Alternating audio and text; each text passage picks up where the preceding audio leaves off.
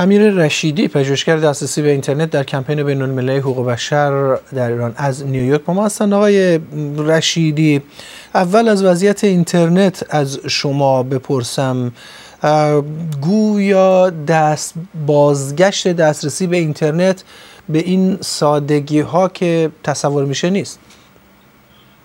نه متاسفانه. به نظر میاد که در واقع مقامات ایرانی یک طرح با جزئیات کامل دارن. به نظر میاد که کاملا آماده بودن با برای چنین روزهایی و چنین شرایطی. قبلا گفته بودم مانورهای برگزار کردن ولی واقعیت اینه که به عنوان کسی که ده سال داشتم این سیستم اینترنت ایران و اینترنت ملی رو در واقع بررسی می‌کردم تحقیق می‌کردم انتظار اینقدر جزئیات و اینقدر دقت رو نداشتم. فکر نمی‌کردم اینقدر دقیق باشه. ولی به هر حال طی روزهای گذشته تنها سه گروه از مردم دسترسی به اینترنت داشتن. توی بعضی از اتاقهای خبر بعضی از افرادی که آقای جهرومی بهشون اینترنت بدون سانسور داده بود.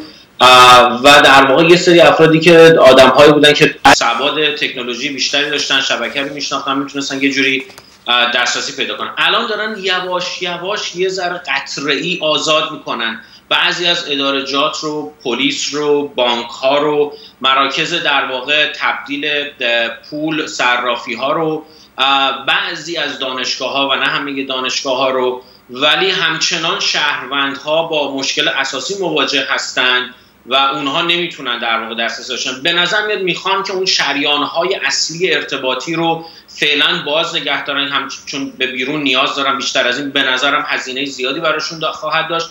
ولی شهروندها رو همچنان می‌خوان از شبکه اینترنت دور نگه دارن. مشابهتی بین این پروژه وجود داره و آنچه که مثلا در بعضی از نظامهای بسته دنیا مثل چین میگذره؟ ببین اتفاقا تو این چند روز خیلی جالبه که محققینی که روی چین حتی روی روسیه کار می‌کنن خیلی ما با هم صحبت کردیم. من می‌تونم بگم که ایران به جرات می‌تونم بگم که کاملا منحصر به فرد هست شرایطش. اگه شما چین رو ببینید درسته که خیلی از سرویس های محلی در چین وجود داره. ولی ما مثل ایران نمی‌بینیم که فقط یک دونه دروازه ارتباط با دنیای خارج وجود داشته باشه. شما روسیه رو اگه ببینید ISP ها به جدا جدا هر کدوم می‌تونن با خارج ارتباط داشته باشن.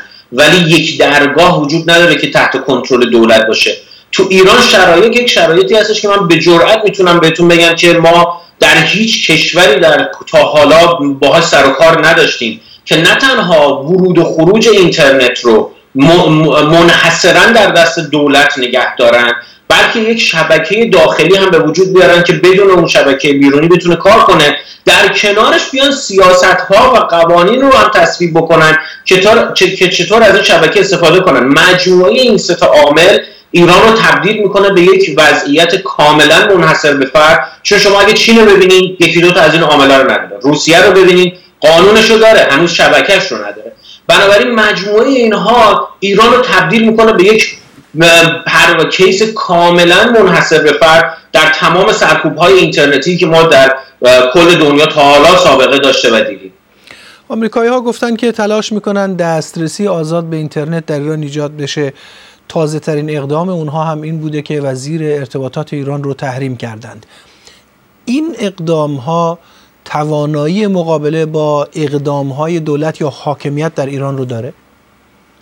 ببینید اولا من نمی‌دونم چه شکلی اونا می‌خوان به برقراری اینترنت کمک بکنن. از نظر تکنولوژی ما هیچ نوع تکنولوژی که ارزون باشه و ریسک کمی داشته باشه رو نداریم. هر کاری بخوام بکنم باید یه چیز فیزیکی تو ایران وجود داشته باشه و به محض اینکه شما یه سیگنال به اون دستگاه فیزیکی تو ایران بفرستین در کمتر از پنج دقیقه می‌تونن محلش رو پیدا کنن و باهاش برخورد بکنن. من واقعا نمی‌دونم سه سال پیشم که تو ایران تظاهرات بود می‌گفتن آقا ترامپ می‌خواد اینترنت مجانی بیاره برای ایران. اگه اون موقع برد الان هم می‌تونه بیاره.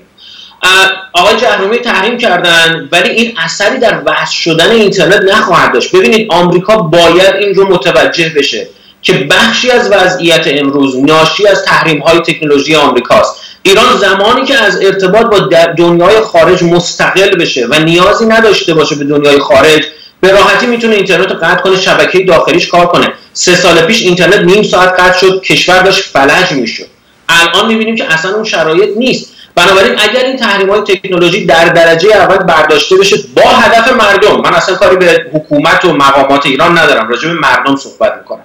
با هدف دسترسی مردم به زیرساخت های جهانی دوم کاری که باید انجام بشه شرکت های حوزه تکنولوژی باید یک سری از تکنولوژی هایی رو که کشتن مثلا یه چیز تکنولوژی وجود داشت به نام دامین فرانتینگ که کمک می‌کرد ابزارهای مقابله با سانسور بسیار راحتتر و قدرتمندتر برخورد بکنن با سانسورهای اینترنتی. این رو بنا به دلایلی که خیلی روشن نیست چیه؟ از بین بردنش. این شرکت های تکنولوژی باید احساس مسئولیت بکنن و این تکنولوژی ها رو دو مرتبه برگردونن اجازه بدن کسانی که می‌تونن ابزارهای عبور از سانسور درست بکنن از این تکنولوژی ها استفاده کنن. اگه می‌خوان به ایران کمک کنن در من هیچ راه حلی به جز این نمی‌بینم.